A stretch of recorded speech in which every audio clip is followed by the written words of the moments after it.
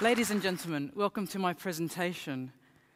This evening, I'm going to take you on a whirlwind tour on the future prospects of microchipping people. I'm going to challenge you with the notion that every single piece of ID that you own will be replaced with a tiny microchip implant about the size of a grain of rice. But first, let's go back in time to this the first automated computer, the ENIAC, developed by the Moore School of Electrical Engineering at the University of Pennsylvania.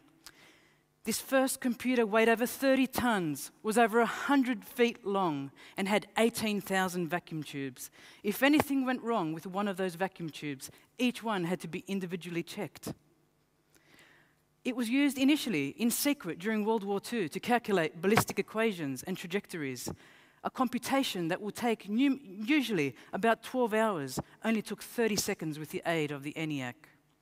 Americans in 1946 on a Sunday morning awoke to headlines that read New Wonder Brain, Army Robot Brain, Mechanical Whiz Kid, Better Than Einstein, Thinking with Electrons, and my two favorite slogans or headlines throw away the books, kids. The ENIAC will end math.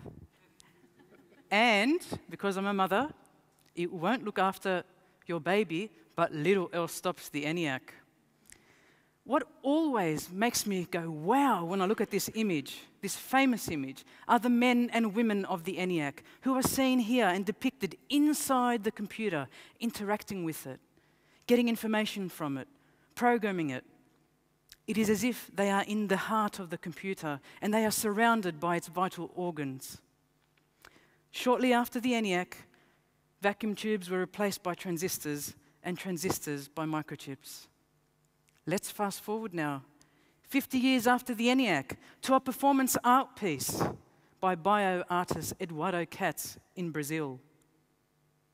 In Time Capsule, Kac acquires an animal injector kit and implants an implant in his left leg in front of a live audience, which was broadcast to the internet and on television, transcending space and time.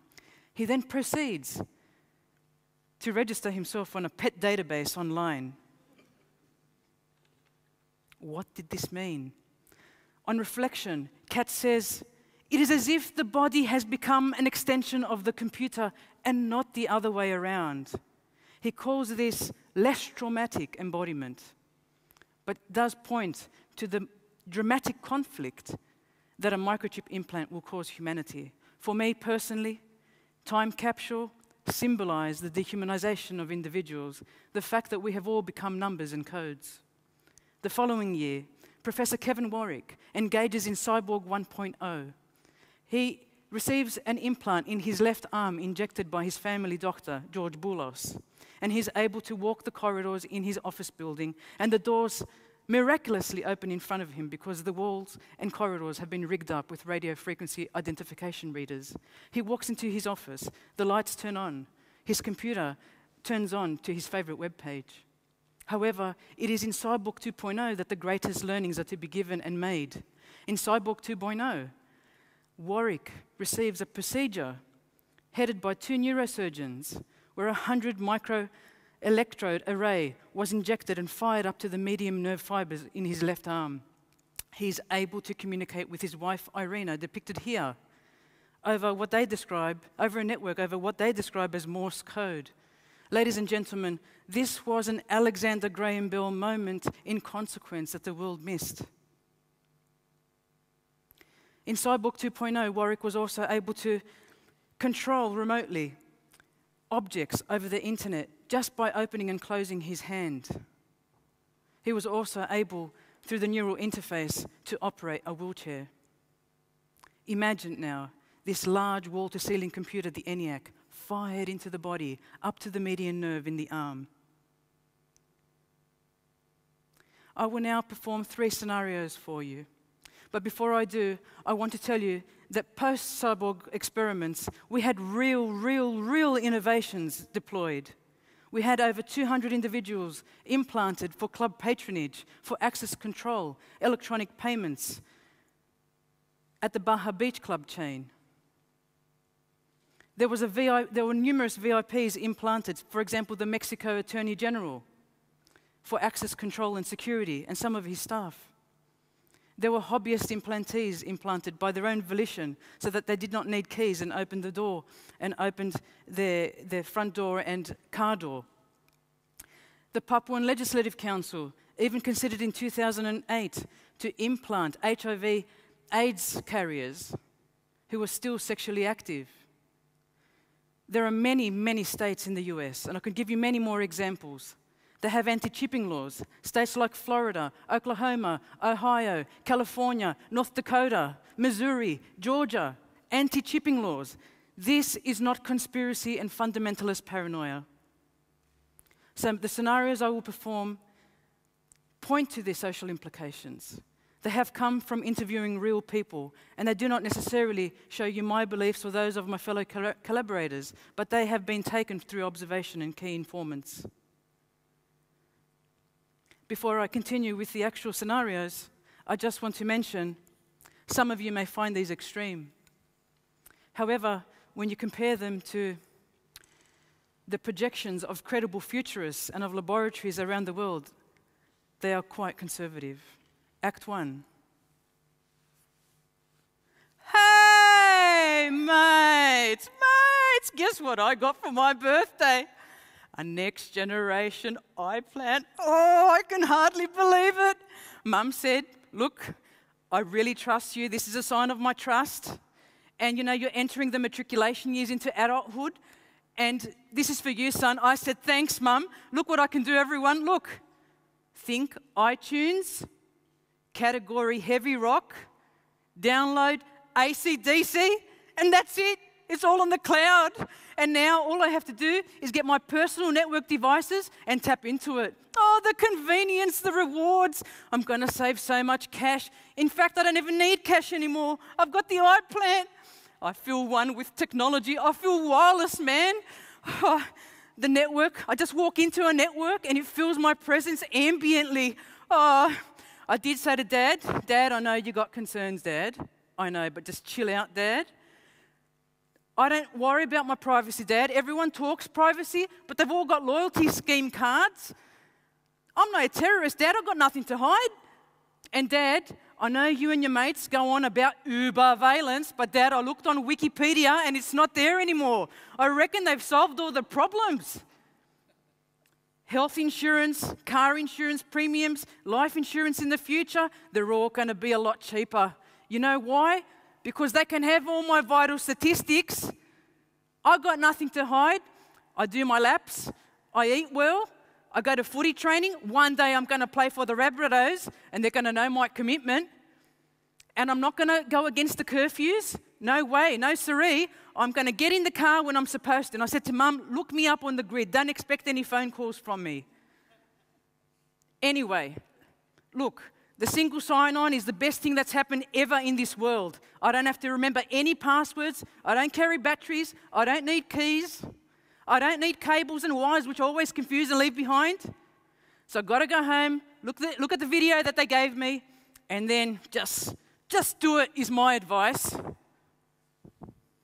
Act two the entrepreneur who wishes to deploy an iPlant for commercial reasons. I've called this uh, stand up meeting. It's a product development meeting just for about 10 minutes. Um, people, we received the last quarter results, and I just want to say we are still number two. The Alzheimer's market is beyond a doubt the one that is gaining the most traction. The carers love this product. The Alzheimer's patients cannot wander, they cannot go outside their homes. The facilities take them and they are controlled, they are safe. I know some of you had concerns that some of the Alzheimer's patients would be chipped against their will, but no, the carers are their guardians. And I have to say, the, the resources are being saved en masse.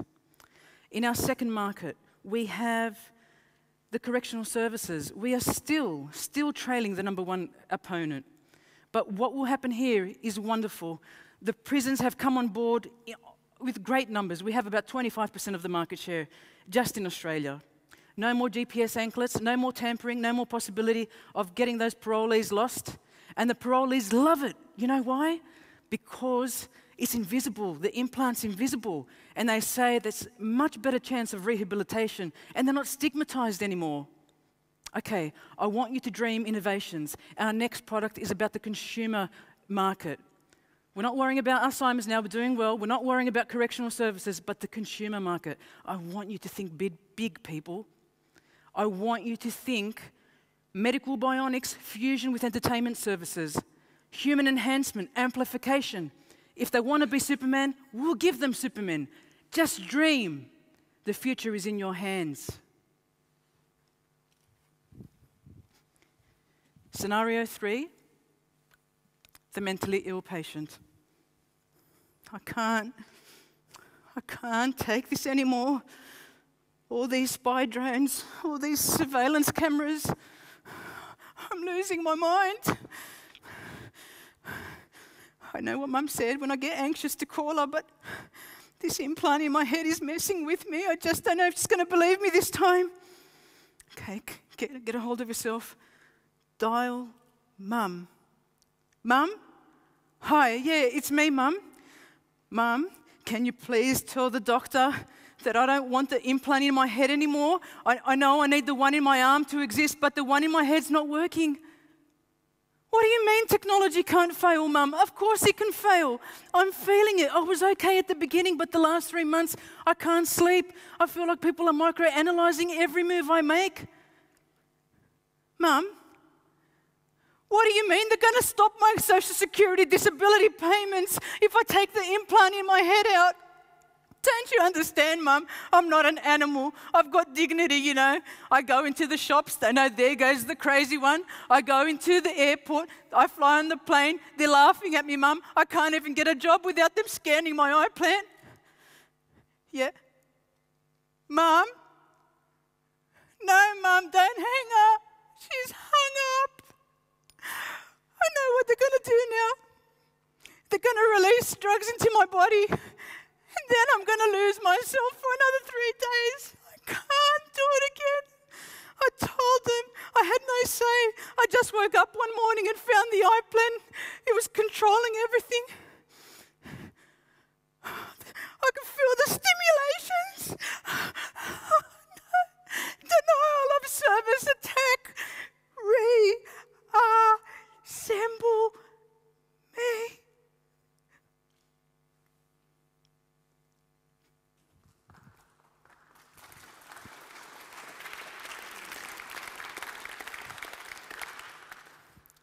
Ladies and gentlemen, these hypothetical scenarios are vital. They have profound implications for our humanity, especially because technology has been explicitly linked to teleology. Yes, indeed, the deaf will hear and have heard. The blind will see. The mute will speak. The lame will skip. Biomedical engineering is testament to this, and we embrace these wondrous works. They are miracles. However, we must be mindful these same technologies will be misused by individuals and those agents in authority potentially. And we will lose our ability to make decisions for ourselves. These are just some of the moral and ethical dilemmas. We are sleepwalking into a world that has become over reliant on technique. Soon, we will not just be talking about the social implications of technology but about how society has become technology. We, who created the computer, will invite it into our body to govern us, and the machine itself will rule over us. Ladies and gentlemen, I leave you with one final question Who will control this emerging new smart surveillance infrastructure? And what will be the rights of the controlled? Thank you.